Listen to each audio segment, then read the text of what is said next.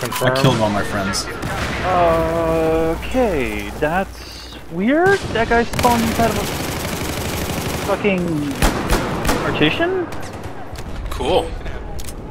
He's he's a student at Yale, got set inside a wall. He's just really good at it now. Oh, that's only funny if you live in Connecticut, I guess. I died, rip. So, Strangelove, what'd you think of the uh, the random ass Medal of Honor videos? Uh, yeah, I, I, I like I, I liked the part where the guy makes the Generation Kill reference.